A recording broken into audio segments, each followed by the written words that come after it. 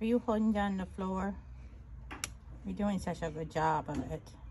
What happened? Nothing.